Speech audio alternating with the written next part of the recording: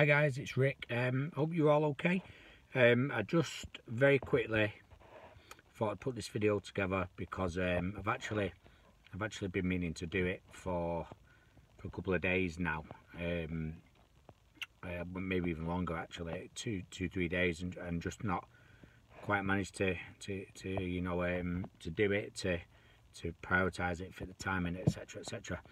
Um, I get asked loads of questions as I'm sure many of you do on like your inboxes and, and stuff like that and it's just not always possible to answer um, to answer all of them but there was there was one the other day that I thought I'd try and answer um, because it's an area that I, am passionate about an area that I've studied and I was asked about um, power power exercises power development for for boxers and, and what exercises that you um, that you would sort of you know use prescribe call it what you want to try and get boxer to punch harder.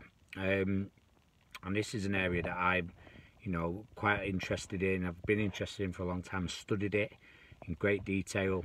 Um, I studied the neural uh, neuromuscular characteristics of pro boxers. I, I tested about 50 professional boxers uh, over a period of a couple of years uh, many of which I knew some of which I didn't some who were known as punchers, some who, who, weren't known as punchers, um, and tried to sort of figure out the answer, um, you know, to this to this sort of question of, of you know, is punch power natural or, or or is it is it something we can improve?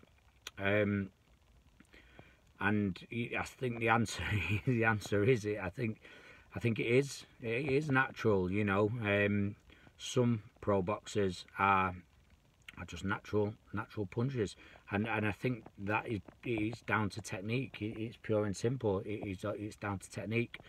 Um, so to answer the question you know how do you get a boxer to punch harder? Um, they need they need to be coached to be better. They need to be coached by somebody who knows what they're doing. You know they, they need to improve their punching technique. Um, and and you know and, and then even even still you know they can be a, top class boxer and, and but just not not a natural you know not a natural puncher. Uh, and that's just sort of sort of the way it goes you know. As, as I say some technique changes will improve them and will get them to hit uh, harder than perhaps that they, they, they might do. But you know compared to somebody else of, of equal height equal weight um, we, you know we just don't know. We just we just don't know why why they hit harder. Now I looked at different testing mechanisms as well uh, when I was doing my studying and in particular these sort of target based ones where you punch a target and so forth like that they weren't particularly uh, you know reliable. So in, in terms of what that means for the S&C I think we we've got to or you know the, the strength trainer calls what you want. You, you've got to work on on what you can work on. So in terms of our testing and whatnot like that our conclusions as I've said were that you know box, boxing is technique based punching is technique based obviously. Um, there'll always be some people that can punch harder naturally than, than others. There's always people there's some people that have got uh, excuse me nat naturally better technique than others or better timing than others or you know know when to when to throw the what's deemed as the power shot and when and when not. But in terms of us as as you know S&C coaches where does where does that leave us and where does that leave our role? As, as I said a minute ago um, what we can do is is imp you know it let's assume that we we're working with a boxer and that, that boxer male or female can box and, and can punch. Um, obviously they, they can all punch but you know what I mean. Um, we it's where we can improve them okay? What improvements can can we make? Now there was some early early research into this. Um, I think it was uh, what was he called? Filimonov, I think it was in 1985, and Filimonov stated that about 24% of, of punch power came from the arms, and that roughly the rest, about 37.5%, and then 38.5%. I think 37.5% was trunk, 38.5% was legs. That was early research. So you know, we we what we have to do as coaches is is prescribe exercises uh, and, and work on and control what we can. As I say, if somebody can't punch, can't punch. If you've got no technique, there's nothing we can do about that. But what we've got to do as as S&Cs and strength coaches is, is in my opinion, we've got to start from the ground up. We've got to prescribe exercises that, that strengthen the feet, the feet in particular.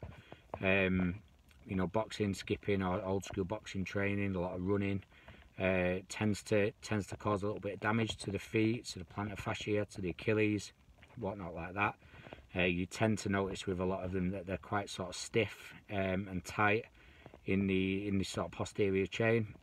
So that's usually where I start. I'll I'll tend to get uh, I'll take I'll tend to take a look at the way they move. Can I improve their Can I improve their movement?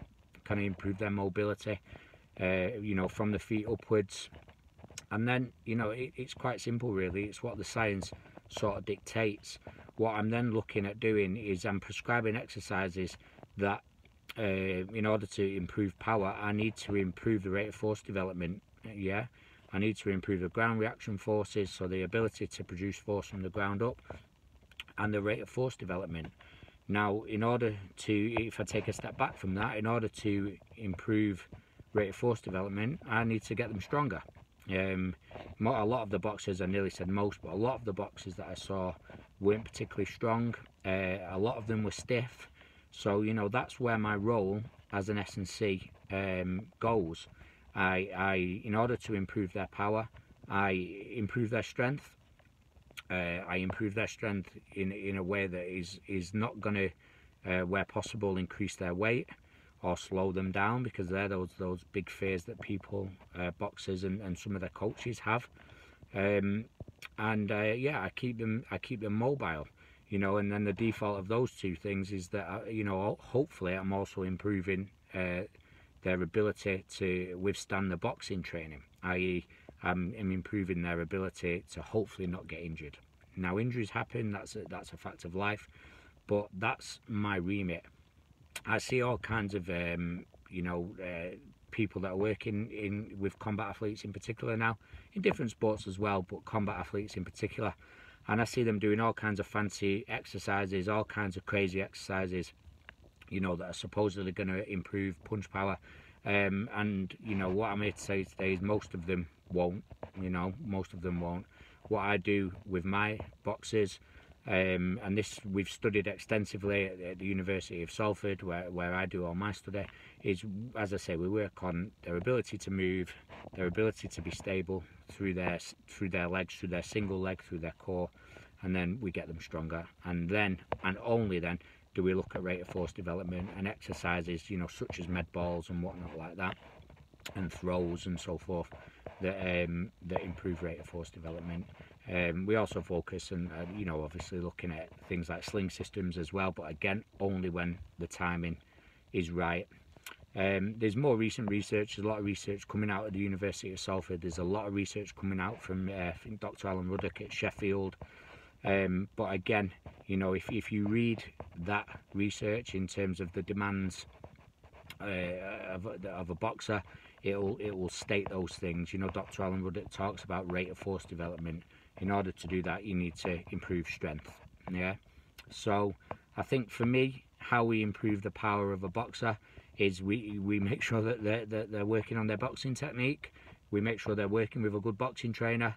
And us as S&Cs what we're trying to do is keep them fit keep them strong keep them mobile and support the boxing training with those kind of exercises. Um, you know the simpler the better. Uh, I see I saw many you know boxing uh, excuse me boxing uh, athletes who were doing all kinds of crazy exercises yet couldn't stand on one leg. So I hope that answers the question. Um, that's how I'd improve power. I would work from the ground up.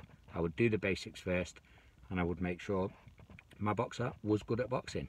Uh, if they're no good at boxing, if they're no good technically, no matter what exercises you do, you're never going to make them uh, punch any harder. Okay, that's it. I hope that answers your question. Uh, I'll speak to you soon. See you later.